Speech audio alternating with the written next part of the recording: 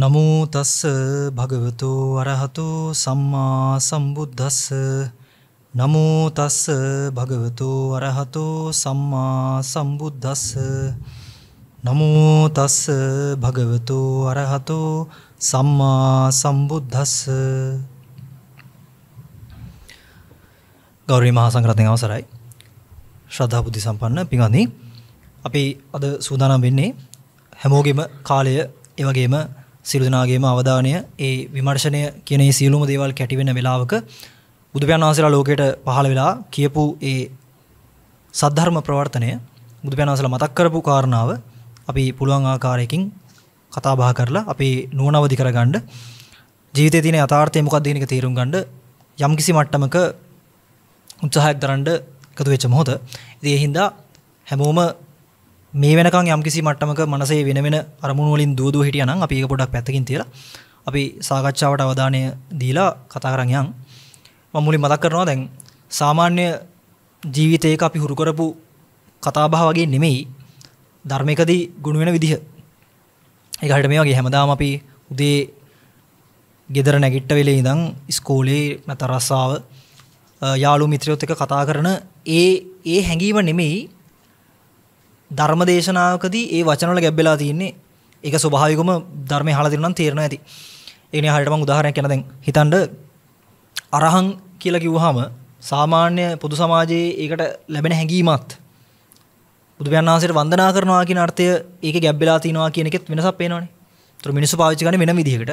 නමුත් අරහං සම්මා සම්බුද්ධ කියන ගුණයක් ගැන කතා කරනකොට අර මහා සමාජයක දැන් පාවිච්චි කරන අර්ථය නෙමෙයි තියෙන්නේ. ඒතර ඒකේ මම උදාහරණ මතක් කළේ වචනයකට යන හැඟීම බලවත් එතකොට තමයි අර්ථයක් වැටහෙන්නේ. නැත්තම් අර හිතන්නකෝ නිකන් සාමාන්‍ය ලෝකෙ විදිහේම වචන වලට එන හැඟීමම නම් ධර්මයකදී එන්නේ අපි කොහොමත් උදේ ඉඳන් හවස වෙනකන් බණම තමයි අහන්නේ සාමාන්‍ය ජීවිතේකත්. එහෙමනම් හැබැයි හොඳට හිතන කෙනෙක්ට තේරුම් ගන්න පුළුවන් අපි සාමාන්‍ය සමාජයේ ජීවත් වුණා කියන එකෙන් තියෙන ප්‍රශ්න තව ව්‍යාකූල වුණා මිසක හරි උත්තරයක් එන විදිහේ කතාවක් ඇහෙන්නේ නැහැ. ඒක පොඩ්ඩක් හරි දන්න හින්දා වෙන්න පුළුවන් ධර්මයක් අහන්න කන් යොමු වෙලා තියෙන. ඉතින් මම ඒක මතක් කරනවා ඊටම ප්‍රශංසාත්මකව ඒ ධර්මයේ අහන්න යොමු වෙච්ච මනස කොයි තැනකදීවත් නතර කරගන්න නැතුව පුළුවන් තරම් Tamanට ලැබෙන උප්පරිම වෙලාව මේ කියන්නේ මොකද්ද කියන එක අහන්න යොමු කරන්න. ඒක මිනිසෙක් වෙලා ලැබෙන ජීවිතයක ඊටාම කලාතුරකින් ලැබෙන අනබ්බවණීය අවස්ථාවක් බුදු කෙනෙක් දේශනා කරපු ධර්මය මහා සංඝයා වැඩ ඉන්න කාලෙක අහන්න ලැබෙන එක. මොකද ඔය කාලේ ආයේ එන්නේ නැහැ. ඕල හැමෝම අහලා තියෙන ජනප්‍රියම උපමා ටික තියෙනවා බුදු පියාණන්සේ මතක් කරපු. නකසිකෝපම උපමාව මතක ඇති. බුදු පියාණන්සේ මහා සංඝරත්න විරාරගෙන වැඩ ඉන්නකොට මේ මහ පොළොවෙන් බුදු පියාණන්සේගේ නිය නියපොත්‍ර ගන්නවනේ පස් ටිකක්. ඒ පස් ටික අරන් පෙන්නන අහනවා මහන්නේ මේ මගේ නියසිල උඩ තියෙන පස් ප්‍රමාණයද වැඩි මේ මහ පොළොව දරන් ඉන්න පස් ප්‍රමාණයද වැඩි. සෝයනාසලා කියනවා බුදු පියාණන්සේ ඕක අහන්නවත් දෙයක්ද ඔබ වහන්සේගේ නියසිලේ තියෙන පස් ප්‍රමාණය මේ මහ පොළොවේ තියෙන පස් එක ගන්නකටවත් ගන්න බෑ. එච්චරට කුඩයි. ඔයාලට ඔක විශ්වාස නැත්තම් නිකන් පොළොවෙන් වැලි ටිකක් අරන් බලන්න. ඔයාලට තේරෙයි තමන් ඉන්න තමන් හිටන් ඉන්න තැන පල්ලෙහා දින පස් ටිකත් සෑහෙන වැඩි මේ නියපොත් තියනට වඩා කියන එක.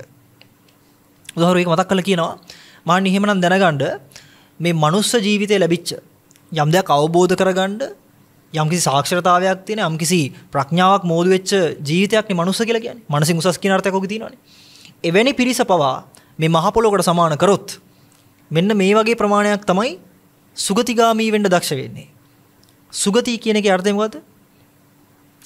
දුක් කරදර නැහැ කියන අර්ථෙනේ. දුක් කරදරයක් නැතිව ඉහළට ය아가න්න පුළුවන් වෙන්නේ මෙච්චරයි කියලා මතක් කරනවා. හරිද? ඕකේ දුගතිය සුගතිය මොකද්ද කියන එකත් තව ඉස්සරහට බලන්න වෙනවා.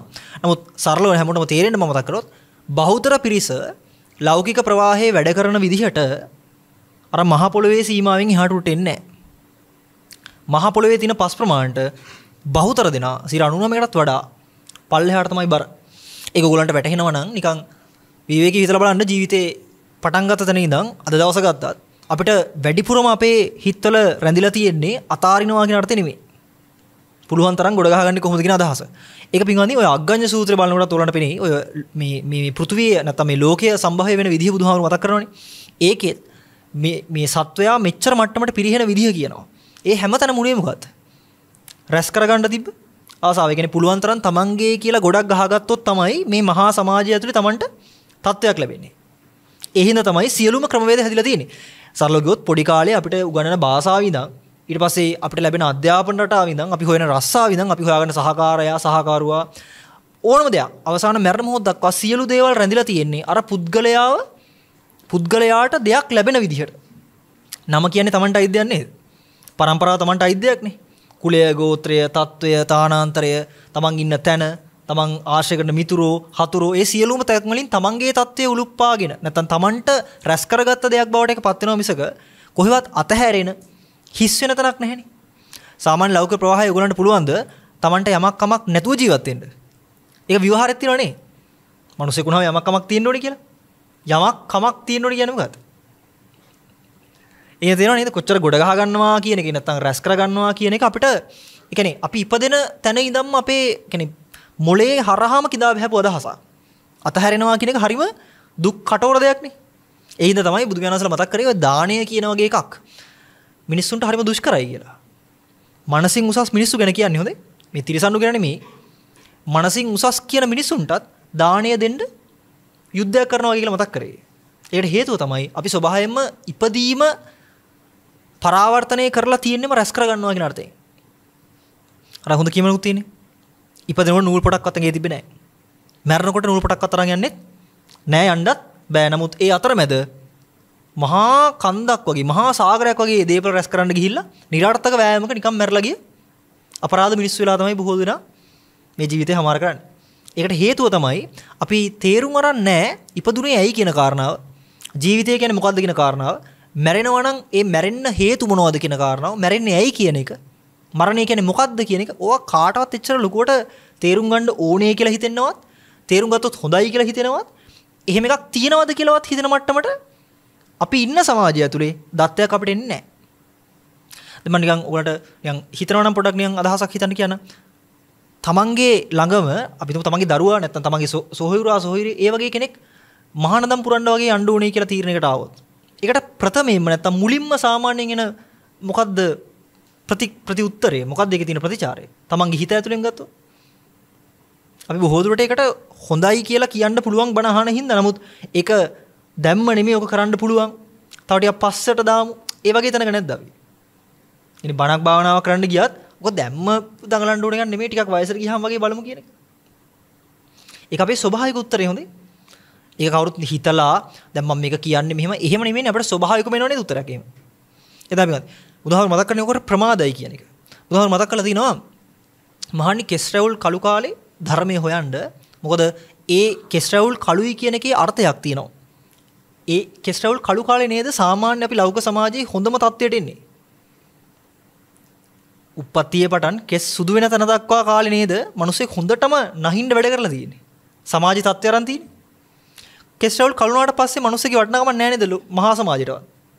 මම දැන් වැඩි හිටියෝ ඉන්න හින්දා දැන් ඕගොල්ලෝ රස්සාවක් කරලා තිනවා නම් දැන් රිටයර් වෙලා පෙන්ෂන් නම් ගෙදරට වෙලා ඉන්නවා නම් අවුරුදු 10කින් විතර පස්සේ නැවත ඔබ වැඩ කරපු රාජකාරී ස්ථානටම ගිහිල්ලා බලන්න. එක්කෙනෙක්වත් අඳුරයිද කියලා ඔයගොල්ලෝ? අඳුරන්නේ නැහැ. අපේ අම්මයි තාත්තයි දෙන්නම රස්සාවල් කරන්නේ. දැන් දෙන්නම විශ්‍රාමිකයි. අම්මයි තාත්තයි බොහෝ දුරට මට කියන කතාවක් තියෙනවා. දැන් ඔෆිස් එක පැත්තේ ගියාම මුරකාරයවත් අඳුරන්නේ නැහැ කියලා. ඒ මුරට ආපු මිනිස්සුත් දැන් අලුත්. මම කියන්නේ තියෙනවා ඒක තමයි විදිය ජීවිතේ. නමුත් වැඩේ තියෙන්නේ එතනට ඇවිල්ලා අත්විඳලා ඔය දුක එනවට වඩා කලින් තීරුම් අරන් ඉන්න එක මාර වටිනවා. අර ඕනම තැනක දෙයක් වුණාට පස්සේ කොහොමත් මිනිස්සෙක්ට කතා කරලා වැඩක් නැහැ නේ. දැන් නිකන් හිතන්නකෝ අතප්පයක් කඩලා යන තැනකට පත් වුණාම ඒ මනුස්සර බැලලා නැහැ නේ අතපය නැතු වෙනවා. දැන් අම්මලා තාත්තලා එකනේ අතපය කැඩෙන්න පුළුවන් මෙහෙම වුණොත් මෙන්න මෙහෙම වුණොත් තුවාලනවා කියලා පොඩි කාලේ ළම කියන්නේ ඔක. තරවටු කරලා හරි කියනව නේද? කරන්න එපා කියලා. එහෙම කියන්නේ ඇයි? කරුණාවටනේ ආදරයටනේ රැක බලා ගන්න ඕනින් දනේ නේද? නමුත් ඔය අපි කතා කරන රැක බලා ගැනීම සුරක්ෂිතතාවය අපි අපි කතා කරන සෙනෙහස ඔය සියලු තැන්වල අර අධ්‍යාපනය දීලා නැහැ නේද? ඉපදුනේ ඇයි කියලා හොයපන්. ජීවත් වෙන්නේ ඇයි කියලා හොයපන්. මැරෙන්නේ ඇයි කියලා හොයපන්. මිනිස්සෙක් කියන්නේ ඇයි කියන එක හොයපන් කියන එක අපිට ඇවිල්ලා නැහැ නේද? ඉපදුනා ඔබ මිනිස්සෙක් එහෙනම් ඔබ කළ යුත්තේ ඉගෙන ගැනීමයි විශ්වවිද්‍යාලයේ යෑමයි රස්සාවක් කිරීමයි කසාදයක් කර ගැනීමයි දරුවෝ හැදීමයි පෝෂණය කිරීමයි මැරෙනකොටත් අපිට ප්ලෑන් එකක් තියෙනවා නේද මැරුණා මෙන්න මේ පාලේ කියලා තමයි නැත්තම් ගෙදර මෙතන තමයි තියන්න ඕනේ කියලා. ඒ ටික අපි සෑහෙන්න දැනුවත් නේද? මං කියන්නේ තේනවද? සරල ඕගලන්ට පුළුවන් නේද? ඕගොල්ලෝ මැරුණාට පස්සේ මොන වගේ ඕගොල්ලන්ගේ මිනි අන්දයි දිලක් දැන් ඕගොල්ලන්ට හිතන්න පුළුවන් නේද? ඇයි මලගේකට ගියත් මැරෙන්නේ ඇයි කියලා කවුරුත් කියන්නේ නැහැ නේ. මැරුණා නම් මේක කරන්න කියලා නේද කියන්නේ. අසනීප වෙන්නේ ඇයි කියලා කවුරුත් කියන්නේ නැහැ නේද? අසනීප වුණොත් මෙන්න මේක කරන්න කියලා නේද කියන්නේ. ඉපදෙන්නේ කියලා කවුරුත් කියන්නේ නේද? ඉපදුන හින්දා මෙන්න මේ ටික කරපන් කියලා නේද කියන්නේ. මේකේ අවුලක් තියෙනවා කියලා පේනවද? ඒ හින්දා තමයි ඉපදුනාට පස්සේ ඉපදුනාට පස්සේ මෙන්න මෙහෙම තමයි ජීවත් වෙන්න ඕනේ කියන સિદ્ધාන්තය ඇතුලේ අනිවාර්ය ඒකාන්ත ධර්මතාවයක් පුළුවන් උපරිමේ රැස් කරගන්න ප්‍රතිපදාවක් හැදෙනවා. රැස් කරගන්න ගියාම මොකද වෙන්නේ කියන්නේ? රැස් කර ගැනීමේ ආදීනයක් නැත්නම් විපාකයට එනවා මොකද්ද? රැස් කර ගැනීමේ විපාකය තමයි ආරක්ෂා කරන්න වෙනවා. පුළුවන් තරම් ගොඩ ගහගත්තොත් එහෙම ඒවා රැස් කරගන්න තියාගන්න වෙනව නේද? හිතන්නකෝ ඔයගලන්ට තියනවා කියලා හාල් මෝලක් හරිද? ඒ හාල් මෝල හදනකොට ඒ වපසරියේ ඒ හාල් නිකම් වෙනසෙන්නේ නැති වෙන්න හදන්න වෙනව නේද? ආරක්ෂා කරන්න වෙනව නේද? මීයන්ගෙන් බේරන්න වෙනව නේද? මිනිස්සුන්ගෙන් බේරන්න වෙනව නේද? ඒ කියන්නේ ආරක්ෂාව යොදන්න වෙනව නේද? ආරක්ෂාව යොදන එකේ අදහස් මොකක්ද කියන්නකෝ? රැස් කරගන්නවා කියන එකත් එක්ක සම්බන්ධයි මොකද්ද? ඈ? ආරක්ෂාව කියන එකේ යටිපෙළ මොකද්ද? මෛත්‍රියද? රැක ගැනීම නිසා උපදින්නේ වෛරය, ක්‍රෝධය, තරහව. මම මේවා කියනකොට නිකන් හිතන්න එපා වුනේ එහෙමත් ඒවා වෙනවා කියලා. එහෙම නෙමෙයි. මේ දැන් උනත් ඒක ඒ විදිහටම අපේ ජීවිතේ තියෙනවා. පැහැදිලිද? නිකන් හිතන්න ඕගොල්ලෝ හිතනවා වෙන්න පුළුවන් අපි එහෙම නෑ අපි හරි ධාර්මිකයි අපි මිනිස්සු විදිහට කිසිම කාටවත් හානියක් නොකර ඉන්නේ කියලා. නොකර ඉන්නේ තාම. තේනවද? තත්වය වෙනස් වෙච්ච ගමන්. හරිද? ඕගොල්ලෝ මනුස්සයි කියලා හිතන් ඉන්න තත්වය පවත්ත ගන්න වපසරියෙන් තියෙන දායකත්වයක්. ওই දායකත්වය වෙනස් වෙච්ච ගමන් ඇතුළේ ඉන්න සතා කොහොමද එළියට එනවා. අමතක කරන්න එපා පින්වත්නි අපි කතා කරනකොට අතීතයත් මේවට සාක්කි. ඔයගොල්ලෝ දන්නවා අපි ඊටාම ගෞරවයෙන් වන්දනා කරන මහරහතුන් වහන්සේනමක් වැඩ හිටියනේ අඟුලිමාල මහරහතන් වහන්සේ කියලා. උන්වහන්සේ කතාව දන්නව නේද? උන්වහන්සේ පොඩි කාලේ ඉඳන්ම හරි ඡණ්ඩ ප්‍රචණ්ඩ එහෙම චරිතයක්ද? නෑ මොකද්ද නම කියන්නකෝ ගී කාලේ? නමත් අහිංසක. එතකොට කොහොමද? අහිංසක අඟුලිමාල වුණා කියන එක හිතාගත්ත. පුළුවන් දෙක නිකන් ඒක ඒක පුදුමයක් නෙමෙයිද? අහිංසක කියලා නම දාපු කෙනෙක්. එනේ ඒ වගේ ඊටාම කීකරුව හැදිච්ච කෙනෙක්. ආයි රජතුමා බය වෙන තරමට දරුණු මනු මිනිමරුවෙක් වුණා කියන එක. ඔයාලට හිතනවාද ඒක කතාවක් විතරයි කියලා? අදට උනත් ඔය විදිහම සාක්කි ඕන තරම් මේ සමාජෙත් තියෙනවානේ. ඊටාම හොඳට හිටපු මිනිස්සු සම්පූර්ණ අනිත් පැත්ත වෙනස් වෙන විදිය. ඔයාලට පේනව නේද? අපි හොඳයි කියලා සම්මත කරගත්ත මායිම ඕනම තැනකදී හෙල්ලෙන්න පුළුවන්. හරිද? ඒ හින්දා කොයි තැනකවත් තමන් මේ ගමන් කරන තමන් හොඳයි කියලා මේ අරගෙන ජීවිතේ විශ්වාස කරන් ඉන්න එපා. ඔක ඕන්ලාක වෙනස් වෙනවා. අද බණ හැව්වට හෙට වෙනකොට කූරු ගණන් කරන්න පුළුවන් මට්ටමකට එන්න මහ වෙලාවක් යන්නේ නැහැ. වැල් මං කියමින් ආවි ගන්නේ. ප්‍රධානම අපේ ජීවිතයේ අරමුණ වෙලා තියෙන පුළුවන් තරම් රැස් කරන එක. ඒ රැස් කරන ගන්න එකේ ආදීනවම තමයි ඕක රැක ගන්න වෙනවා. රැක් ගන්න වෙනවා කියන්නේ අපිට මෛත්‍රියෙන් කරනවා ඒවා රැක් ගන්න බෑනේ. අනිත් කෙනාව හිංසාවට පත් කරනවා, පෙළනවා කියන අර්ථය ඕකේ තියෙනවමයි. නැත්තම් රැස් කරගෙනත් කෙනා රකින්න ඕනේ නෑනේ. දන්සලක් වගේ නේ නම් උතර තියෙන්නේ.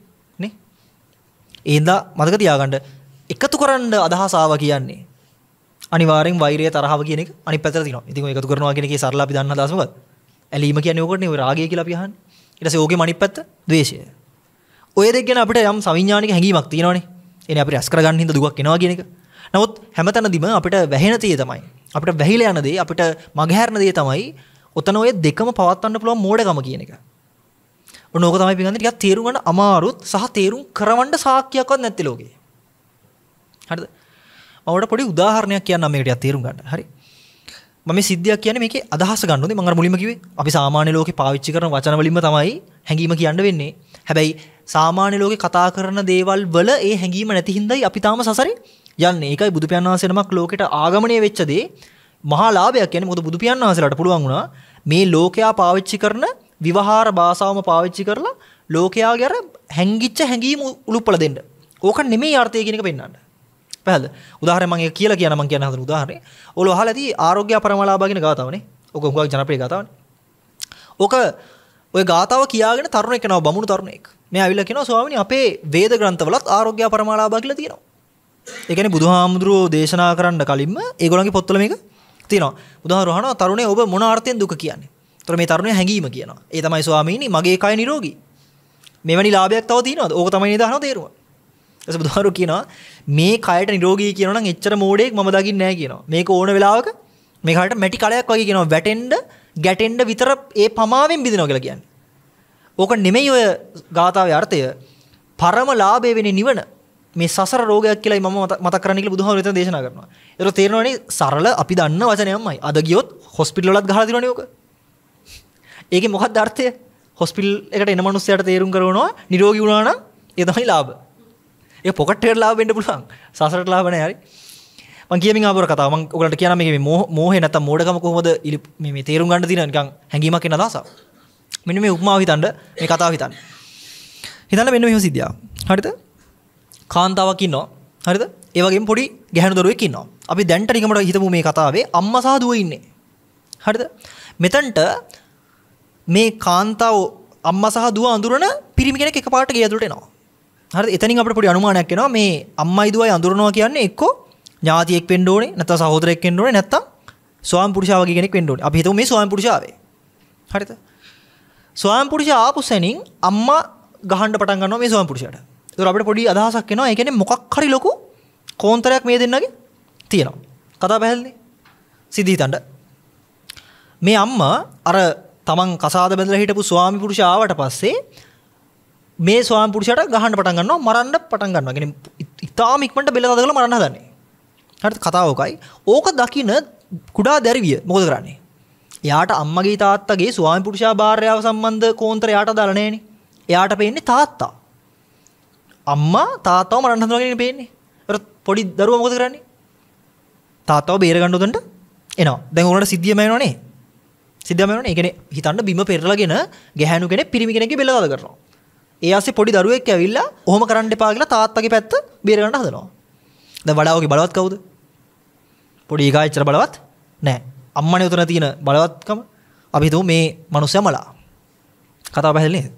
දැන් උතන ඔය ඔය සිද්ධියේ ප්‍රධාන කාරණා දෙකක් තියෙනවා. එකක් තමයි පොඩි දරුවව නිරූපණය කරනවා, රැස් කර ගන්නවා කියන අල්ල ගන්නවා කියන හැඟීම. අම්මව නිරූපණය කරනවා අර කිව්ව ද්වේෂය. පැහැදිලි මං කියන එක. තරහව තිබ්බේ අම්මගේ පැත්තෙන්, ආදරය තිබ්බේ දරුවගේ පැත්තෙන්. දැන් මම අර මුලින් කිව්වා වගේ රාගය සහ දේශය සම්බන්ධ උදාහරණේ පැහැදිලි ඇතිනේ. මෝහය. හරිද? ඔය පොර බැදිල්ල යන්තමට වගේ ඇහෙනවා අල්ලපු ගෙදර ඉන්න මිනිස්සෙට. හරිද? ඒ අල්ලපු ගෙදර මිනිස්සයා දන්නවා මේ මේ ගෙදර ඉන්නේ අම්මෙකුයි දුවෙකුයි කියලා. හරිද? මේ මිනිස්සයා මේගොල්ලොත් එක්ක මිත්‍රයි මොකක් හරි කරදරයක්ද දන්නේ නැහැ කියලා. අර ඇරලා තිබ්බ දොර හොඳට තල්ලු කරගෙන ඇතුළට එනවා. දැන් මොකද සිද්ධිය කියන්නේ? මිනිස්සෙක් සාලි ඉස්සරහා වැටලා ඉන්නවා. හොඳට පේනවා මැරලා කියලා. අම්මයි දුවයි ඉන්නවා. හරිද? දැන් අම්මා කියනවා ඔයා මෙතනට එන්න එපා. දැන් ඔයාවත් මේකට ඔයා මේකට අදාළ නෑ මේ සිද්ධියට. මගේ අතින් තමයි මේක උනේ. එහෙනම් අපි බේර ගන්නම් කියලා කියනවා අර මිනිස්සයාට. හරිද? අර මිනිස්සයා කියනවා මම දැන් මෙතනට ආවනේ. දැන් මට ආයි හැරලා යන්න බෑ. කතාව පැහැදිලිද? සිද්ධිය පැහැදිලිද? ඔය ආපු මිනිස්සයව නියෝජනය කරනවා මෝහය කියන අර්ථය. ඒ කියන්නේ හොඳට බලන්න පිළිගන්නේ ඔය වෙච්ච මිනී මැරුමට කෙනෙක් අතින් පයින් කිසිම ක්‍රියාකාරකමක් කළේ නැති වෙන්න පුළුවන්. හැබැයි එතනට පැමිණුණා කියන්නෙම පැමිණුණා කියන්නෙම එයත් සිද්ධියට අදාළද නැද්ද? එයත් සිද්ධියට අදාළයි. මං කිරේ පැහැදිලිද? පැහැදිලිද? නිකන් හිතන්න ඕගලන්ට ඔය වගේ එකකට මුහුණ දෙන්න උනොත් ඕගලන්ට පුළුවන්ද ගිහිල්ලා දැන් දොර වහගෙන මේ අනිත් ගෙදරටලා ඉන්න? මොකද හොඳටම දන්නවා එහා පැත්තේ මිනිහුණක් මිනිහක් තියෙනවා. ඒක මම දැක්කා. පොලිසියට කියන්න ඕනේ. මෙතන මොකද්ද වෙන්නේ කියලා බලන්න ඕනේ. මමත් මේකේ හවුල් කවුරෙක් කියලා කවුරු චෝදනා කරයිද දන්නේ නැහැ. ඔයාලට පේනවද එතන වෙන සිද්ධිදාමේ පේනවද? මං කියන්නේ පැහැදිලිද? බලන්න අම්මට නම් කෙලින්ම චෝදනා කරත හැකි මැරුවමයි කියලා. දරුවව ඊටාම සානුකම්පිතව බලද හැකි තාත්තව බේරගන්න හිටියේ කියන එක. අර මිනිස්සයාට මොකද්ද වෙන්නේ? බාහිරින් ආපු තුන්වෙනි පාර්ශවය. ඒ මනුස්සයා සිද්ධිය දැක්කා විතරයි. ඒක පැහැදිලි නේද මං කියන එක? සිද්ධිය විට්නස් කළා විතරයි. ඒ කියන්නේ දැක්කා විතරයි. පැහැදිලිද? ඒ දැකුම් මාත්‍රය ප්‍රමාණවත් නෙමේද සම්පූර්ණ සිද්ධියට මේ මනුස්සයා වැඳෙන්න. හරි මම දැන් ඕගොල්ලෝ හිතලා බලන්න ජීවිතය සම්බන්ධව. දැන් ඕගොල්ලෝ හොඳට හිතුවොත් ඔය උපමා කතාවත් එක්ක ඕගොල්ලෝ ආයි ඇලෙන්න ගැටෙන්න ඕනෙද සිද්ධියට කියන්නකෝ. මේ සසර යන්න ප්‍රසන්ට් වෙච්ච එක ප්‍රමාණවත්. ඒ කියන්නේ මේ සිද්ධියට ආපු එක ප්‍රමාණවත්. පැහැදිලිද මං කියන එක? ඔන්න ඔය මෝඩකම ගැන පෙන්වන්න ලෝකේ జగතෙක් පහළ වුණේ නැහැ. තේරෙනවද? මේ උප උපදින තැනම පටලව ගන්නවා කියන එක පෙන්වන්න දක්ෂයෙක් ලෝකෙ හිටියේ නැහැ. හැමෝම අර මං කියපු උපමා කතාවේ අම්මගේ දුවගේ චරිතයට සාධාරණ සාධාරණකම් හිව්ව විතරයි. පැහැදිලිද? අර තුන්වෙනි පාර්ශවයේ තියෙන මෝඩකම පෙන්වන්න දක්ෂයෙක් ලෝකෙ හිටියේ නැහැ. එහෙනම් තමයි බුදු කෙනෙක්ගේ ආගමණය අපේ තියෙන වචන ශබ්දකෝෂ මදි බුදුහාමුදුරන්ගේ තියෙන ඒ වර්ණාව නුවණ සම්බන්ධව ප්‍රකාශ කළ ඉවර කරන්න. පැහැදිලිද? මොකද ওই කාරණාව කියන්න මම නැවත කියනවා දක්ෂයෙක් ලෝකේ පහළ වෙන්නේ නැහැ ඊළඟ බුදුහාමුදුරු කෙනෙක් කරේට. ඒක බුදු කෙනෙක් පහළ වෙච්ච එකේ වාසිය තමයි සංඝයාට ඕක අහගෙන දරාගෙන අවබෝධ කරත හැකි. පසේ බුදු පියාණන්සලා පහළ වුණත් ඕක පෙන්වන්න බෑ. පසේ බුදු පියාණන්සලා කියන්නේ හැට සිද්ධිය දන්නවා නමුත් ගොළුයි වගේ. පැහැදිලි කරන්න පරියාය උන්වහන්සේලා සර්වඥ නෙමෙයිනේ බුදු කෙනෙක් නෙමෙයිනේ. පසේ බුදු පියාණන්සලා උන්වහන්සේලා ස්වයං ඥාණයෙන් අවබෝධ කරනවා කවුරුත් දන්නේ නැහැ නිවිල යනවා. බුදු පියාණන් වහන්සේලා ඒ අතරින් ඊටාම ඉහළම තැන ඉන්නේ. ඒක තමයි අපි කතා කරන සාරාංශකේ කල්පලක්ෂයේ පාරමිතාව. ඔය ඌව සාමාන්‍ය මිනිස්සෙක් හිතන ඒවාත් නෙමෙයි පියාණන්. මම මොකද්ද කිව්වේ? සාමාන්‍ය මිනිසෙක් ලෝකෙට බිහි වුණාම පුළුවන් තරම් රැස් කරන්න ඉගෙන ගන්නවා මිසක අතාරින්න ඉගෙන ගන්න නැහැ නේ. බුදු කෙනෙක් බෝසන් වහන්සේ නමක් ඕකේ මොන පැත්ත තෝරගන්නේ? රැස් කරනවද අස් කරනවද? දන්න කාලේ ඉඳන් තමන් කණ්ඩ ගත්ත බට්ටික පවා කාට හරි දීලා වලදපු කෙනෙක් මේ ඉන්නේ. තේරෙනවද? ඉතින් ඒතකොට මම මේක කියන්න උත්සාහ කරේ පින්වත්නි. එවැනි මට්ටමට මෙච්චර ඉහළ නුවණක් උපදින්න ඒ ඒ නුවණක් ඉපදිලා මේ ලෝකෙට ඒ නුවණ විග්‍රහ වෙච්ච හින්දායි ওই කාරණාව කියන්න පුළුවන් අපිට උනත්. නැත්නම් මේක කියන්න බෑනේ. මොකද මේක තේරෙන්නේ නැහැ. මම ඉස්සෙල්ලා කිව්ව කතාව වගේ අපි කාටවත් තේරෙනවද ඉපදීම කියන එක ප්‍රශ්නයක් කියලා. ඒක තේරෙන්නේ නැහනේ. අපිට හැමතිස්සෙම වෙන්නේ ඉපදුනාට පස්සේ වෙන ප්‍රශ්න ටික. ඉපදුනාට පස්සේ නෙමෙයි ඔක්කොම ප්‍රශ්න පටන් ගන්නෙ. නේද? ඉපදුනාට පස්සේ නෙමෙයි ඉස්කෝලේ යන්න උනේ.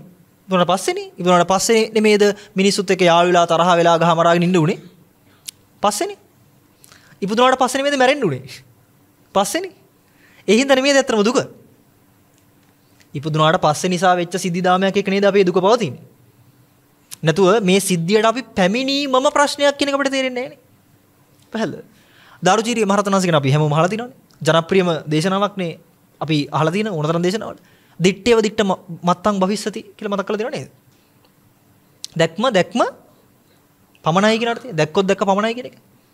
එතන පේනවද ඒ පමණ ඉක්මවා තමයි අපේ ජීවිතේ ගොඩනැගිලා තියෙන්නේ.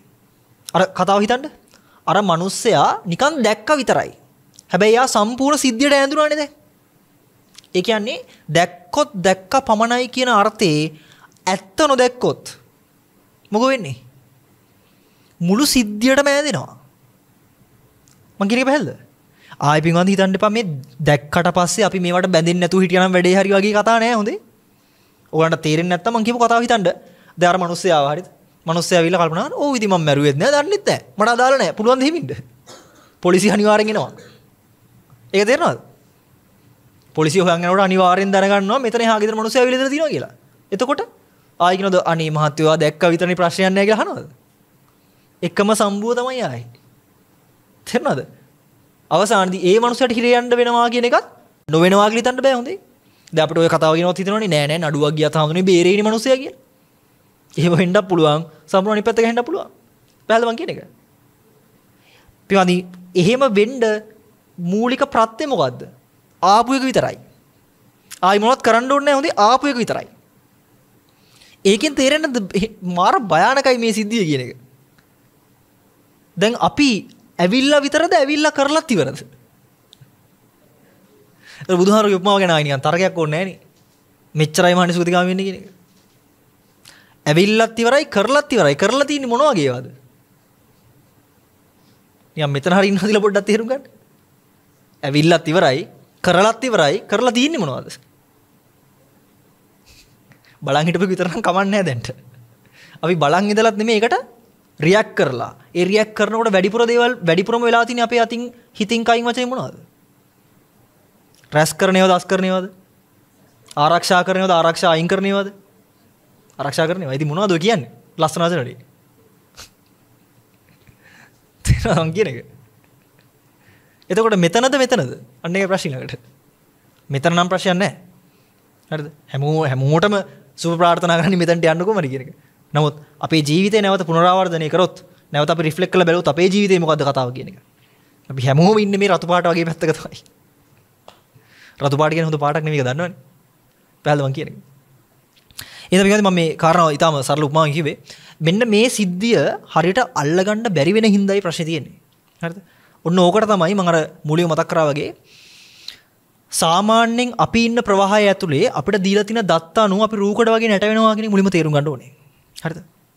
අන්න ඒක තේරුම් ගන්නකොට හිතන මිනිස්සෙට අදහසක් එනවා ඇත්තට මම සතුටක් හොයා ගන්නවා කියලා කිව්වට මම සතුටින් ඉන්න ඕනේ කියලා මේවා කළාට මම හැමතිස්සෙම ගමන් කරන්නේ අනුන්ගේ අර්ථ මත කියන එක වැටහුණාම තමයි Tamanට ස්වයං තීරණයක් ගන්න පුළුවන් හැකියාව එන්නේ.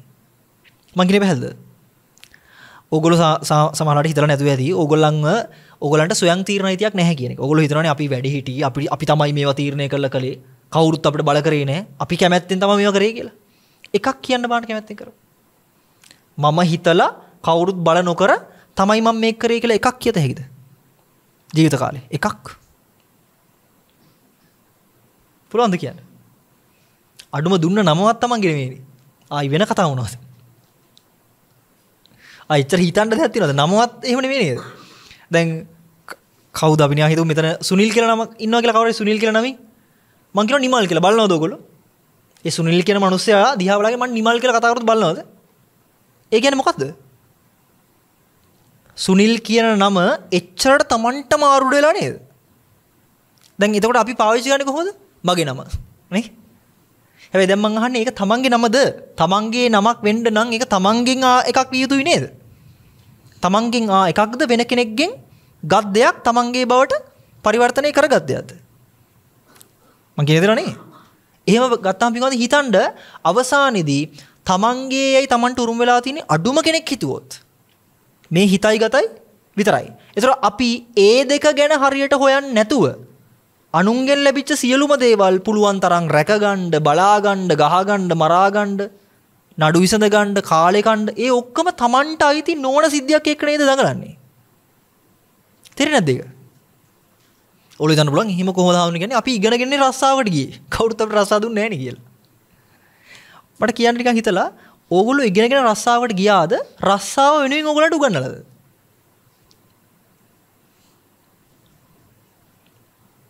ඈ?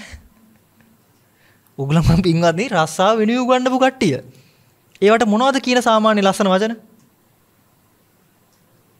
සත්තු හදන විදිහල් තියනවද? හරක්ව හදන්නේ මසට සහගිරට නේද? හැඟීම තේරුම් ගන්නකො. ඒක තමයි වහල් බව කියලා කියන්නේ. හරිද?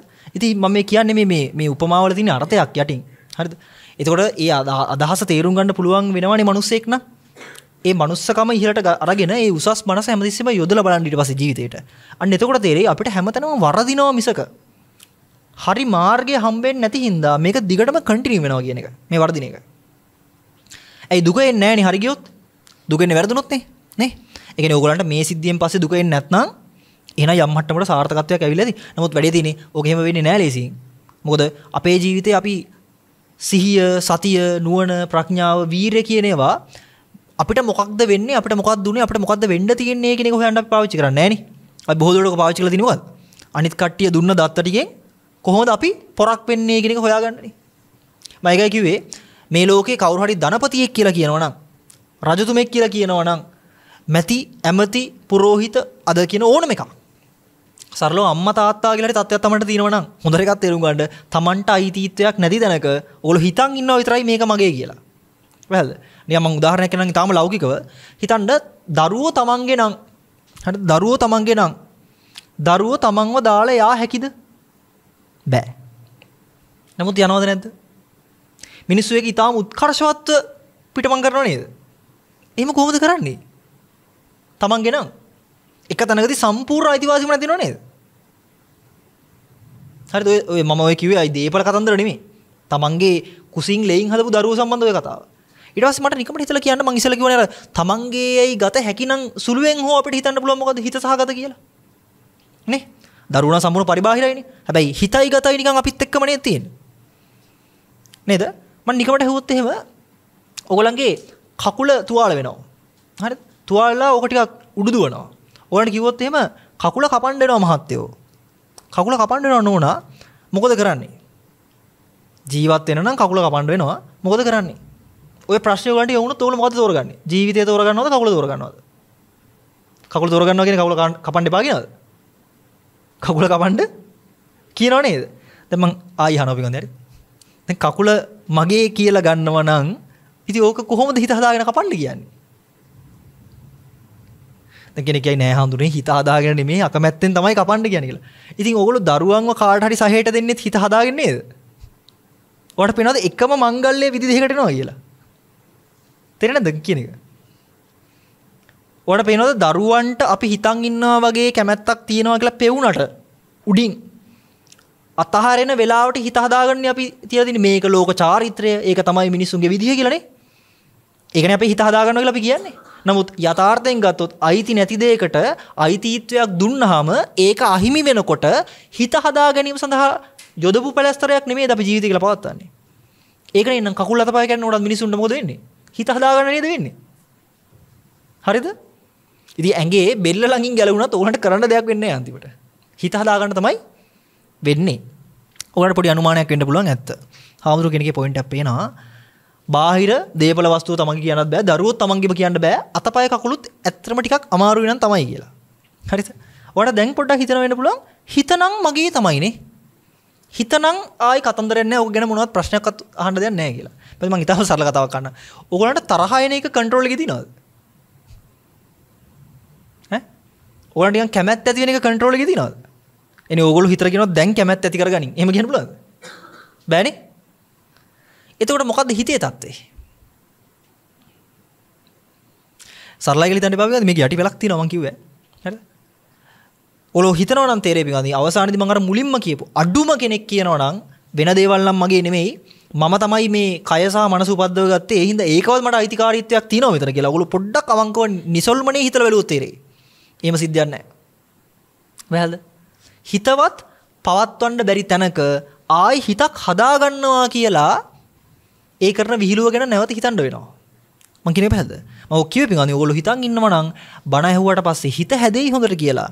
හිත හදන්න ඒක තමන්ගේ වෙච්ච දෙයක් නම් හදත හැකි. ඔය හදන්න බෑ. හදන්න බැරි ඇයි? හදන්න බැරි ඇයි? හදන්න බැරි එකම කාරණාව පිඟන්නේ ඕගොල්ලෝ මුලින්මම හිතලා ඉවරයි මේක මගේ කියලා හරි මගේ කියලා ගත්ත තැනක ඕගන්ට ඔප්ෂන්ස් දෙකයි තියෙන්නේ එකක් තමයි මේක මට උණු දෙයක් පාලනය කරගන්න ඕනේ පාලනය නැත්තම් ඒකට අනුවර්තනය වෙන්න ඕනේ කියන එක. ඒක පේනවද? දැන් ඕගොල්ලෝ මට මේ කියන්නේ මේ වැස්ස කියන එක ඕගොල්ලන්ට කන්ට්‍රෝල්ද නැහනේ. දැන් ඕගොල්ලන්ට කරන්න පුළුවන් මොකද්ද? එක්ක වැස්ස නවත්තන්න ඕනේ නැත්තම් ඔකට අනුව හැඩ ගැහෙන්න ඕනේ. ඕගොල්ලෝ කරලා තින්නේ මොකද්ද? නවත්තන එකද හැඩ ගැහෙන එකද?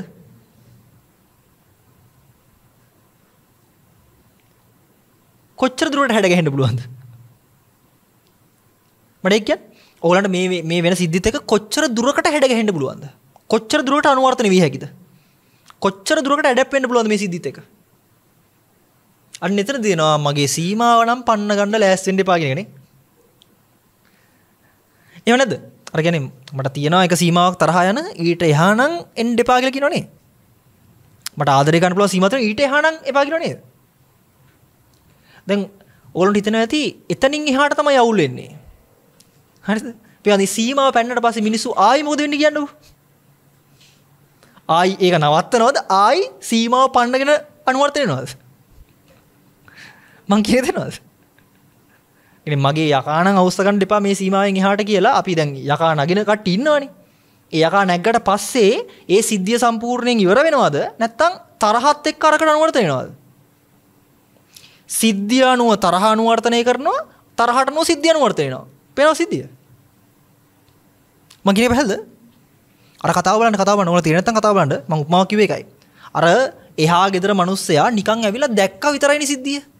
දැන් මොකද වෙන්නේ? සිද්ධියට අනුව අරයාගේ දැක්ම අනුවර්තනය වෙනවා. දැක්ම මත සිද්ධිය දැන් ඊට අනුව අනුවර්තනය වෙනවා. ඒ හින්දා එයාට දැන් ගැලවෙන්න බැරි වෙනවා. තේරෙනවද? අර මරපු බිරිඳ නම් එයා මරණකොටම සිද්ධියට අනුවර්තනය වුණා තරහනේ.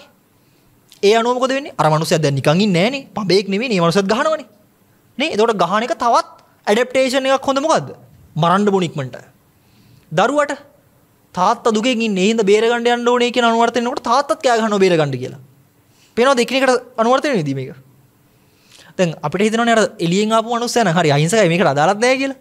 නමුත් එතනදී ප්‍රසන්ට් වීමම එතන විට්නස් වෙන එකම මොකෝ තත්ත්වේ. අර සිද්ධියම ආයි වෙනවා. පැහැදිලිද? ඔයගොල්ලෝ හොඳට හිතලා බලන්න පියවන්නේ ඔය ප්‍රවාහයෙන් ඔය චක්‍රයෙන් මිදිච්ච එක චිත්තක්ෂණයක් තියෙනවද හිතනකොට? මම කියන්නේ පැහැදිලිද? ඔය මම කියපු සිද්ධියෙන් මිදිච්ච ඔහොම සිද්ධියක් නොවන ඔහොම තැනකට නොයන එක චිත්තක්ෂණයක් තියෙනවද දන්න සීමාවක? නෑනේ. මිනිස්සු විසින් මේ සිද්ධිය නවත්තන්න උත්සාහ කරන හැමතැනම ඊට අනුරූපව අනුවර්තනය වෙනවා. ඒ අනුවර්තනය වෙනත් එක්ක සිද්ධියක් තියෙන අනුවර්තනය වෙනවා කියන එක නෙමෙයි මම කියන්නේ. මෙහි අනුවර්තනය වෙනකොට ඊට අනුව මෙහෙත් අනුවර්තනය වෙනවා. ඒක හරියට මොනවා වගේද? ඔලු ගින්දර ගැන දන්නව නේද? ගින්දර කොහොමද ඔගොල්ලෝ ඔළුවේ තියන් ඉන්නේ? ගින්දර තියෙනවා දර තියෙනවා එහෙමද? ගින්න හොඳට අධ්‍යයනය කරලා බලන්න. හොඳට තේරෙයි. ඔගොල්ලෝ ඔය ලිපේ හරි එහෙම ගින්දර මොනවනවා නම් බලන්න. දර විසින් ගින්දරට අනුවර්තනයේ උපයෝගීතාවය දෙනවා. ගින්දර දරට උපයෝගීතාවය දෙනවා. පැහැදිලිද මං කියන එක? ඒ විදිහට ගියාම මොකද වෙන්නේ? ඒ විදිහට ගියාම ඔයගලන්ට පුළුවන් වෙනවද දරවල තමයි ගින්දර තියෙන්නේ නැත්නම් ගින්දරේ තමයි දර තියෙන්නේ කියලා මෙහෙම පින් පොයින්ට් කරන්න පුළුවන්ද? හොඳට හිතලා කියන්න උත්තරේ පුළුවන්ද බැයිද? දරවල ගින්දර තියෙනවා කියලා ඔයගලන්ට කියන්න පුළුවන්ද බැයිද? බෑ. ගින්දරවල දර තියෙනවා කියලා පුළුවන්ද කියන්න? ඒ හින්දා තමයි ගින්දර කියලා කියන්නේ. ගින්දරනේ නේද? ගින්දර කියනවා මිසක ගිනි කියලා වෙනම ගන්න බෑ නේද ඇදලා? ඒ වගේම දර කියලා වෙනම ඇදලා ගන්න පුළුවන්ද ඒ අර්ථය හිතන්න? මොකද අපේ දින සාමාන්‍ය අර්ථයෙන් අපිට තියෙනවා දර තියෙනවා කුස්සියේ. දර කියන යෙදීම තියෙන මොනවා එක්කද? ගිනි එක්ක.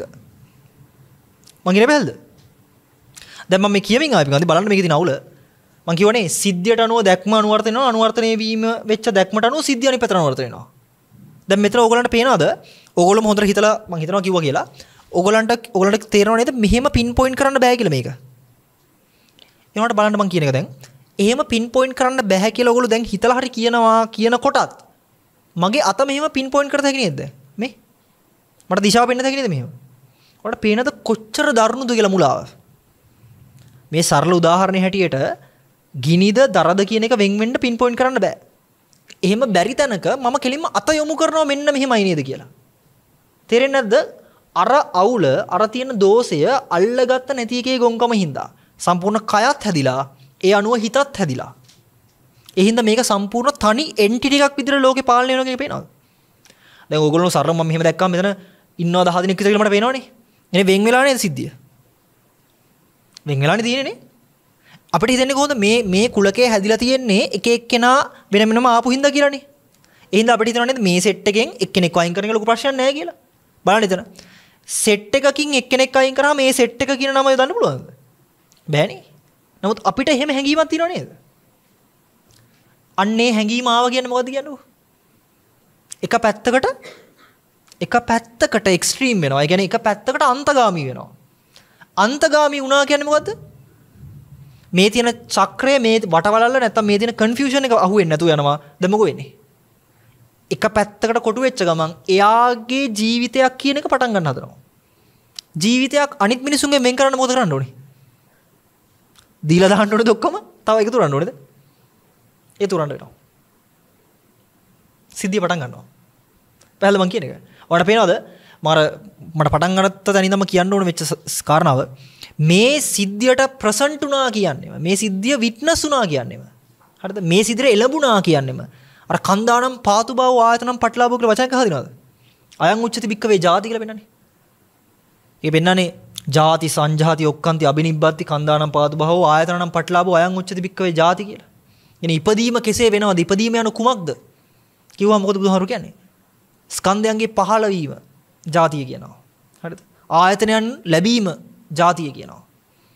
දැන් ඔයගොල්ලෝ මට හිතලා කියන්න ආයතනයන් ලැබුණාට පස්සේද දැන් මෙතන ප්‍රශ්නේ තියෙන්නේ. කියන්නේ මේ අස කනාසය දිව ශරීරය ලැබුණා. ඊට පස්සේ මේ දැක්ක දේවල් එක තමයි අපි පැටලුණේ කියලාද කියන්නේ. ඔයගොල්ලෝ නිකමට හිතලා බලන්න පියවන්දි මේක. ඇහැ ලැබුණාට පස්සේ තමයි මේ රූප දැකලා අපිට ලස්සනයි කියලා කැමැත්ත ඇති උනේ නම් ඇහැ කියන එක අවුලක් නෑ නේද? ඒක ඔයගොල්ලන්ට හොයාගන්න තියෙන මොනවා කියලා කියද්ද? දැක්කට පස්සේ ඇලෙන්න හිතෙන් නැති රූප දින තරම් නේද? දැන් අර කතාවත් එක්ක පොඩ්ඩක් හිතලා බලන්න. දැක්කට පස්සේ ඇලීම ඇති වෙච්ච කෙනා වගේ තමයි නේද පොඩි ළමයා. තාත්තා කියලා ආදරයක් ඇතිනවනේ. ඒ වගේම දැක්කට පස්සේ හෙන්න තරහක් ආපු කෙනා නේද භාර්යාව. ඒ දෙන්නගේ නම් වැඩේ හරි නේද? ඒ දෙන්නට නම් අවුල් වුණානේ වැඩේ. පැහැදිලි දෙන්නටම දුකයිනේ. ඇයි බිරිඳට දුක එනවා අනිවාර්යෙන් මිනි මරුම චෝදනාවට යන්න වෙනවා. දරුවට දුක එනවා තාත්තා නැති වුණා. ඒ දෙක පැහැදිලිනේ. නමුත් අපිට තේරෙන්නේ නැහැ නේද කතාවේදී අර තුන්වෙනි පාර්ශවයෙන් ආපු අර අල්ලපු විතර මනුස්සයට ලොකු දුකක් තියෙනවා කියලා. ඒ කතානේ. නමුත් ඕගොල්ලෝ පොඩ්ඩක් හිතනවා නම් තේරෙන්නේ නැද්ද? ඒ මනුස්සයා අර දුක ඒ විදිහටම විඳින්න වෙන මට්ටමක ඉන්නේ කියලා දැන්. පැහැදිලි මං කියන එක. ඔන්න ඔක අති දරුණුයි. හරිද? ඔක අතිශය දරුණුයි. මං කියන අර අන්තිම මරපු එකයි අඬපු එකයි නෙමේ ප්‍රශ්නේ පිටින්ගන්නේ. ඔය දෙකටපත් වෙන්න වෙන්නේ සිද්ධියට එළඹීම. පැහැදිලිද? මේක ආයි විකෘති විදිහට හිතන්න එපා. සිද්ධිය පවතිනවා මම ඉපදිච්ච හින්දායි වෙන්නේ කියන එක. මම ඒකයි අර පෙන්වුවේ දෙපැත්ත දාලා. ඒ කියන්නේ සිද්ධිය කියන අර්ථය නිරූපණය වෙනකොටම ඒ තැනට පැමිණුණා කියන එකක් තියෙනවා. පැමිණීම නිසාම සිද්ධිය ලිප්පෙනවා. සිද්ධිය නිසාම පැමිණීම ස්ථාවර වෙනවා. ගලවන්න වෙන්නේ නැහැ. අපි හැමතිස්සෙම එක්ක සිද්ධිය වැරදි කියලා අයින් වෙන්න හදනවා. නැත්තම් මගේ වැරද්ද කියලා අයින් වෙන්න හදනවා. අයින් වෙන්න බෑනේ. මං කිව්වේ. දැන් ඔයගලන්ට තියෙන්නේ වැස්ස නවත්තන්න විද්ද එක එක්කෝ නතර කරන්න නැත්තම් අනුවර්තනය වෙන්න ඕනේ. දැන් අපි අයින් වෙනවා අයින් වෙනවා කිය අන්තිමට මොකද්ද කරලා තියෙන්නේ කියන්නකෝ. ඒක නතර කරන එකද? ඇත්තම අපේ හිතේ වැඩ කරන්නේ නැත්නම් අපේ ජීවිතේ අපි එතන තීරණයක් ගන්න මට මේක මල වදයක් මේක හින දුකක් එනවා ඒ හින්දා මම මේකෙන් අයින් වෙන්න ඕනේ කියලා නේද? ඒනේ අපේ අපේ හිත පෙන්වන්නේ මෙහෙම කරා නම් ඔයාට ආයේ මේකේ ප්‍රශ්නයක් නැහැ කියලානේ. හැබැයි ඒක එහෙමද වෙලා තියෙන්නේ ඒ සිද්ධියට අනුව අනුවර්තන වීමක්ද වෙන්නේ. අනුවර්තන වීමක් වෙන්නේ. පියාණි ඕගොල්ලන්ගේ ජීවිතේ ඉපදිච්ච තැන ඉඳන් අද වෙනකම් බලන්න අනුවර්තන වෙලා විතරයි තියෙන්නේ. වෙන කිසිවක් වෙලා නැත. ඕකට පරිණාමණය කියලා සමහරට කියනවා වගේ. ඒ පරිණාමන නෙමෙයි වට කියන්නේ අනුවර්තන.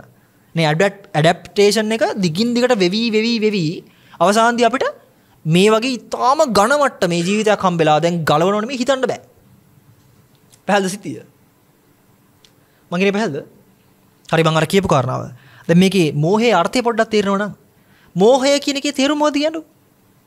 මෝඩකම. මෝඩකම කියන්නේ මොකද්ද? ඇයි මෝඩ වෙන්නේ කියන්නේ? අපි මෝඩයා කියලා කියන්නේ කාටද? කාටද මෝඩයා කියලා කියන්නේ? දෙයක් කිව්වහම තේරෙන්නේ නැහැ. නැත්තම් තේරුම් කරගන්න බෑ. නැත්තම් දන්නේ නැහැ. වචනේ ඕවා. තේරෙන්නේ නැහැ. තේරුම් කරගන්නේ නැහැ. තේරුම් කරගන්න ඕන කමක් නැහැ. දැනගන්න උවමනාවක් නැහැ. දැනගන්න ඕනේ නැහැ කිව්වට දැනගන්න බෑ. පැහැදිලිද? ඒ අර්ථ. ඉග්නොරන්ස් කියලා කියන්නේ නොදන්නකම. හරිද? ඔයාලට පේනවද? අපිට කිසිම තැනක දැනුවත්කමක් හම්බෙලා නැහැ නේද? අපි ගරු කරන වැඩිහිටියන්ගෙන්, ගුරුවරුන්ගෙන්, ලෝකයේ කිසිම තැනකින්. අඩුම අද අපි කතා කරන chat GPT එකකින්වත් අපිට අදහසක් එනවද මේ ප්‍රසන්ට් එක ප්‍රශ්නයක් කියලා? නෑනේ. එහෙම නෑ නේද? මේ සිද්ධියට එළඹීමම ප්‍රශ්නයක් කියලා කවුරුත් කියන්නේ නේද?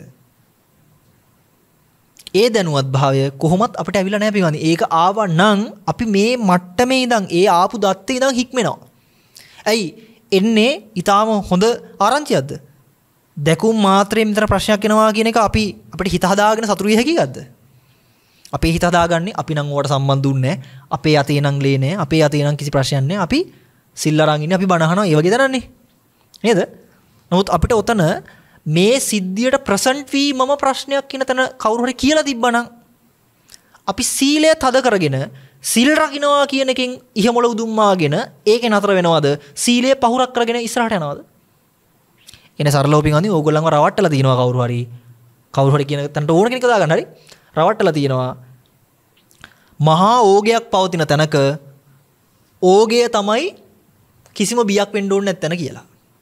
ඕගේ මැද තමයි ඕගොල්ලන්ගේ ගේ හදාගන්න ඕනේ කියලා කවුරු රවට්ටලා තිනවා ඕගේ කියන එක තේරෙනව නේද? හිතන්න මහා සැඩ පහරක් තියෙනවා මහා සැඩ මුහුදක් තියෙනවා නැත්නම් හැමසම සුනාමින තරක් තියෙනවා. ඕගොල්ලන්ව රවට්ටලා වෙන්න බෑ ඉද උතන ගයක් හදන්න කියලා තියෙන්නේ. ඕගලන්ට මොලයා බුද්ධිය තියෙන මිනිස්සු විදියට හැමතිස්සෙම ගම් වතුරේ තැනක ගයක් හොයා ගන්නවද නෑනේ. එහෙනම් එහෙම තැනකට ගිහිලා තියනවා කියන රැවටිලා නේද?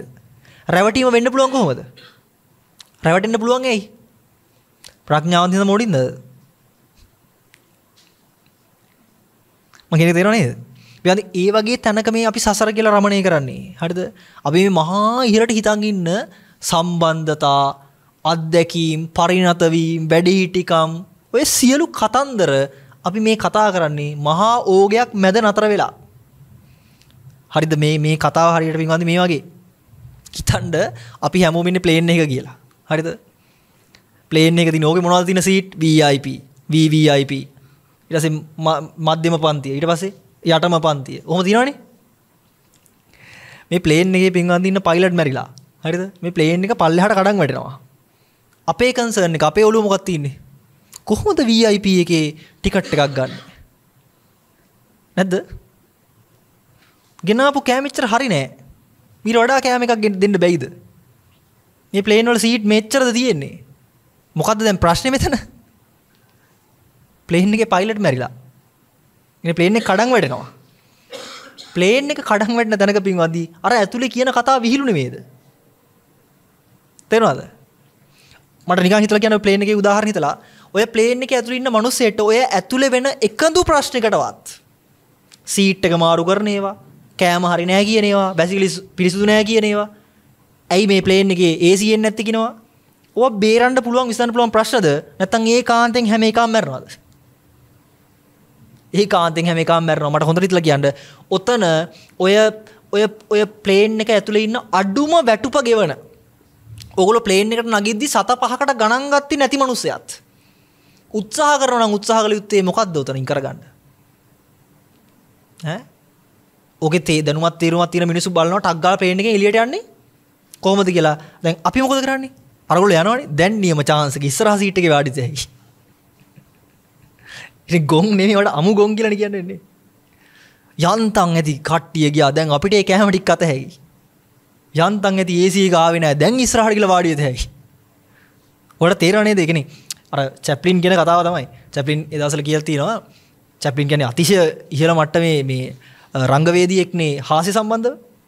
එයා කියපු කතාවක් තියෙනවා මම වේදිකාවේ රඟ දක්වන්නේ ඕගොල්ලන්ගේ ජීවිතේ. නමුත් ඕගොල්ලෝ hina වෙන්නේ මට. මම කියන්නේ තේරෙනව නේද? ඒ උපමා ටික පින්වත්නි තේරුම් අරන් බලන්න. ඒ සිද්ධියට ප්‍රසන්ට් වීමම ඒ සිද්ධියට එළඹීමම ස්කන්ධයන් පහළ වීමම ආයතන පටිලාභය වීමම ඉපදීමම දෝසයි මේ කතාවේ. ඒ හින්දා ඊට එහා කොච්චර පැලැස්තර ඇලෙව්වත් මේ ප්ලේන් එක වැටෙනවා. හරිද? ඒක අපි වන්දි ඊටම ලස්සන අදහසක් තියෙනවා. අපි ඉපදුනේ ඇයි කියලා දන්නේ නැති හින්දා. ඉපදිච්ච නිසා අපි විශ්වාස කරන්න ඕනේ කියලත් ආයි දෙසරයක් නොහිතපු කරනවද නැද්ද විශ්වාස කියලා දෙසරයක් නොහිතපු. සියලු විශ්වාස ජීවිතේ බවට පත් වෙලා අපේ ජීවිත සම්පූර්ණයෙන්ම දී වෙලා තියෙන මොනවටද? මනුස්සයෙක් තියෙන ඊටාම පරිණත වෙන්න පුළුවන් ඊටාම දක්ෂම කාලේ තරුණ කාලේ. ආයි මේ පස් ටික කියද හැකි නේද? මහ පොළොව වගේ සියලුම දෙනා තරුණ කාලේ මිඩම් කරන්නේ ඉගෙන ගන්න විතරමයි. ඊට පස්සේ රස්සාව හොයාගන්න. ජීවිතේ මධ්‍යස්ත වෙනකොට රස්සාවේ කොහොමද ඉහළට යන්නේ කියලා හොයනවා. ඊට පස්සේ අවර නැත්තම් ඉර බැස යන කාලේ වගේ මහලු වෙන්න හදනකොට කොහොමද මහලු ජීවිතේ සතුටින් ඉන්නේ කියලා ආයි එකම යුද්ධය තමයි. හැබැයි දිනපු එකෙක් මේ ලෝකේ නැත. හැම එකම පෙට්ටි පිටින් රැස් කරලා පෙට්ටියක වැල්ලිලා ඇත. එච්චරයි කතාව. ඉතින් මේක අතිශය භයානක තැනක මේ සසර තියෙන්නේ. ඔගොල්ලන්ගේ ජීවිත නෞකාව තියෙන්නේ මහා සැඩසුලං, කෝඩසුලං, සුනාමි, දිය පහරවල්, ආයි රකුසු, මකරු හිතාගන්න බැරි තාම භයානක ව්‍යාකුල තැනක ඒක පොඩක් තේරුම් ගන්න පුළුවන් කාලයක් මොකද මේ මේ සංධනිය මේ ධර්ම නාදය ලෝකේ තියෙන කාලයක් මේ. ඉතින් බුදු කෙනෙක් පහළ වෙච්ච කාලයක්. එහෙනම් බුදු පියාණන් වහන්සේලාට මල් පූජා කරලා මදි. තේරෙනවද? මල් පූජා කරන්න හේතුව මොකක්ද කියලා හොයලා අපි මලක් විතර පූජා වෙන්න ඕන කාලයක් මේක. ඒක තමයි දානය කියන එකේ සංකේතනේ ඔය. ලෝකේ මල් අපි හැමෝටම ගිහලා දෙන්නේ නැහනේ. අපි ගරු කරන, ආදරය කරන, විශ්වාස කරන, ඊටාම වටිනම කෙනෙක්නේ අපි ඔක් කරන්නේ. බුදු කෙනෙක්ට හැමදාම මල් කෝටි ගණන් පූජා කරනවා ලෝකේ. හැබැයි බහුතරය ඒ පූජ කරන්න තරම් බුදුහාමුදුරු උසස් වුණේ ඇයි කියන එක හොයන්න හිතන්නේ නෑ. ඒක පූජ කරලත් බුදුහාමුදුරන්ගේ මේ සාමාන්‍ය ලෝකයේ ඇතුලේ මොනවා හරි දෙයකට සරණක් හිතනවා මිසක ඒක වෙන්නේ නැහැ බුදු කෙනෙක්ට බෑ නේ එහෙම දේවල් කරන්න. බෝධින් වහන්සේ ළඟට ගිහලා මොනවා හරි ඉල්ලුවා කියන එකෙන් බෝධින් වහන්සේට පුළුවන් මොනවද කරන්න? බෑනේ. වැළඳ ඉතින් ඒක තේරුම් ගන්න අපිට මනුස්ස මොලයක් තියෙන කාලේ ඒක නාස්ති කරගන්න එපා. ඒ හින්දා මේ ලෝකේ මම අර ලෝකයේ සම්බන්ධ තේරුම් ගන්න තමයි මම අර කතා දෙක කිව්වේ. හරිද? අර කාන්තාව පිරිමියා ඝාතනය කිරීම සහ ප්ලේන් එකක වෙන සිද්ධිය. ඔන්න ඔය ටිකත් එක්ක ටිකක් හිතලා බලන්න ජීවිතය ගැන. හරිද? එතකොට තේරෙයි බුදු පියාණන් වහන්සේලා කියන්න උත්සාහ කරපු කාරණාවේ ගැඹුර. වැහද? ඉතින් හින්දා ඔය කාරණා ටික සිහිපත් කරනවා. ඕගොල්ලෝ පුළුවන් තරම් මේ ධර්ම මනසිකාරය පවත්වන්න සත්‍ය කියන එක හොයන්න ධර්මයේ කියලා 아무තු එකක් ලෝකේ නැහැ. මිනිස්සෙක් පොඩ්ඩක් ඇත්ත හොයන්න නික්මුණා නම් එයාට කියන්න පුළුවන් ධර්ම ගවේෂකයෙක් කියලා. ඒ මට්ටමට මිනිස්සෙක් වෙලා ඉන්න වෙලාවේ උත්සාහ කරන්න ඒ උත්සාහය අපත යන්නේ නැහැ කියන එක මට ස්ථිරව කියද හැකි. මොකද ධර්මයක් හොයපු නිසා තමයි මේ මට්ටමින් නුවණක් එක්ක මේ කියන කාරණාවක් හරි පොඩ්ඩක් තේරුම් ගන්න හැකියාව තියෙන්නේ. මොකද වඩා පුරුදු කරපු දේවල් අපේ ගතිය විදිහට පිළිහිටනවා නේ හුඟක් වෙලාවට. මම අර නිකන් ඔගොල්ලෝ කර්ම විශ්ය සම්බන්ධව අහලා තියෙනවා නම් අද ලෝකයේ මිනිස්සු කොච්චර ඉන්නවද? ඒ කියන්නේ කියන දෙයක් ඇහුවට කන වැඩ කරන්නේ නැති හරියට. සද්ද තියෙනවා නමුත් ඇහෙන්නේ නැහැ. රූප තියෙනවා තේරෙන්නේ නැහැ. බලන්න බෑ. Tamanට හැඟීමක් තියෙනවා ප්‍රකාශ කරගන්න බෑ. කෙලතුළු මන්ද මානසික මන්ද බුද්ධික රෝග පීඩාවලටපත් වෙලා ඕල මේ ආසන කාරණා මම හිතන්නේ මට වඩා දැනුවත් ඇතිනේ. යුද්ධ යනවා ලෝකේ. කණ්ඩ බොන්නේ නැහැ. ඉතා මේ කිරිසප්පයෝ දුක් විඳින්නේ. අපි හිතන් ඉන්නවනම් පින්වන්දි අපිට ඕවා වෙන්නේ නැහැ කියලා. ඒවා කතන්දර. ඒ පොඩි දරුවෙක් හිතන්නේ නැතුවනේ හෙට උදේ වෙනකොට හොස්පිටල් එකකින් එනවා කියන එක. හෙට උදේ වෙනකොට අම්මගේ මලගම බලන්න එනවා කියලා ඒ පොඩි දරුවෙක් හිතන්නේ දිනවද? නැහනේ. ඔලු දැකලා තිබ්බම මේ වෛරල් වෙච්ච වීඩියෝස් කීපයක් තිබ්බා. ඒ සමහර දරුවන්ගේ ඒක ඊටාම සංවේදී මේ දර්ශන ටිකක් මේ තොල් තොල්පටවල් හෙල්ලෙනවා බයට. සාමාන්‍යයෙන් ඕගොල්ලෝ දන්නවනේ අර වෙවුලන එක එන්නේ අතිශය බය වුණාමනේ. අපිට බලෙන් බැලේ මේ තොල් එහෙම හොලවන්න. අතිශය බය වුණොත් මොකෝ වෙන්නේ? ඔය වෙවුලන්න ගන්නවා.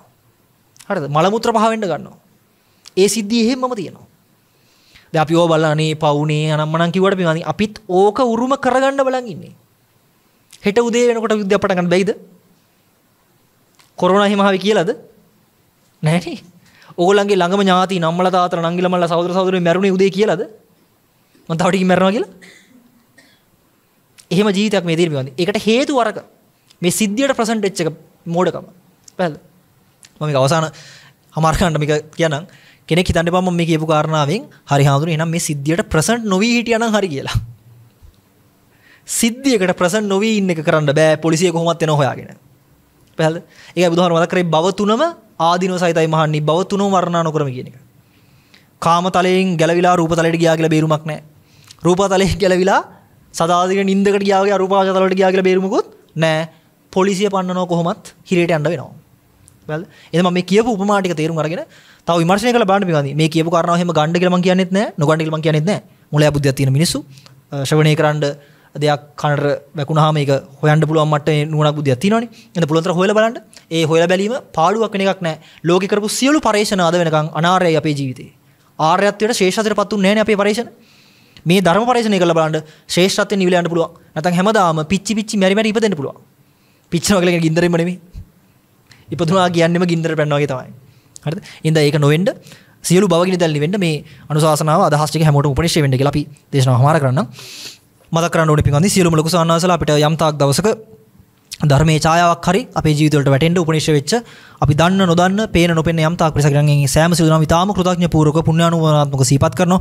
ඒ සියලු දෙනා කොහේ හිටියත් මේ සමස්ත පුණ්‍ය කුසල ආශිර්වාදය තම තමන් කලාසේ සාදුකාර දෙමින් අනුමෝදන් වෙත්වා. ලොකු ස්වාමීන් වහන්සේලාට විශේෂයෙන් පුණ්‍යානුමෝදනා කරනවා. උන්වහන්සේලා ප්‍රාර්ථනීය බොහෝ දෙයකින් වහවහම නිවනින්ම නිවෙත්වා. ඒ වගේම දිව්‍ය බ්‍රහ්මාදී සියලු දෙනාමත් මනුස්ස මනුසාදී සියලුම දෙනාටමත් මේ පුණ්‍ය ශක්තිය මේ ජීවිතය තුලදීම වහවහම නිවනින් නිවෙන්න සත්පුරුෂ ආශීල බණ්ඩ උපනිශ්‍රේ වෙත්වා. ඒ වගේම මේ ආයතන භාරව වැඩ කරන සියලු දෙනාටමත් මේ කාර්ය මණ්ඩලය ඇතුළු සියලුම සහෝදර සහෝදරයන්ටත් මතක් වෙච්ච මතක් නොවෙච්ච වර්ග පරම්පරාගත සියලුම ඥාති මිත්‍රාදීන්ටත් මේ සමස්ත පුණ්‍ය කුසල බලයේ ආශිර්වාදය ඊටාම ඉක්මනින් ධර්මාබෝධය ලැබෙන්න ප්‍රඥාව අවදි වෙන්න උපරිශයක් වෙත්වා සත්පුරුෂ ආශිම් ලැබෙත්වා ධර්ම ශ්‍රවණයම කරත්වා සියලු ලෝකවාසී සියලුම සත්වයන්ට බුදු පසේ බුදු මහරහතුන් වහන්සේලා නිවිසන සීපෙවනවා දාල අජරාමර සංඛ්‍යාත නිවනින් නිවීමටම සියලුම පුණ්‍ය ශක්තිය ඒකාන්ත මහෝපකාරී පුණ්‍ය ආශිර්වාදයක් බවට පත් වෙත්වා කියලා අපි සියලු දෙනාටම පින් අනුමෝදන් කරනවා හොඳයි සියලු දෙනාටම ආශිර්වාද කරනවා වන්දනා කරගන්න. සබ්බේතියෝ විවජ්ජන්තු සබ්බ රෝගෝ විනස්සතු මාතේ භවත්වන්තරායෝ සුඛී දීඝායුකෝ භව භවතු සබ්බ මංගලං රක්칸තු සබ්බ දේවතා සබ්බ බුද්ධානුභාවේන සබ්බ ධම්මානුභාවේන සබ්බ සංඝානුභාවේන සදා සොත්ති භවන්තු තේ දුක්ඛප්පත්තාච නිදුක්ඛා භයප්පත්තාච නිබ්භයා සෝකප්පත්තාච නිස්සෝකා හොන්තු සබ්බේපි පානිනෝ අභිවාදන සීලිස්ස නිච්ඡං වද්ධාපචායිනෝ චත්තාරෝ ධම්මා වඩ්ඩන්ති ආයුවන්නෝ සුඛං බලං ආයුරාරෝග්‍ය සම්පatti සග්ග සම්පatti මේවච අතෝ නිබ්බාන සම්පත්ති මිනාතේ සමිජ්ජතු. සුවපත් වේවා මග බලනිවන් පුණ්‍යත්වා. සුවපත් දේශක්ඛයෝ නිබ්බානං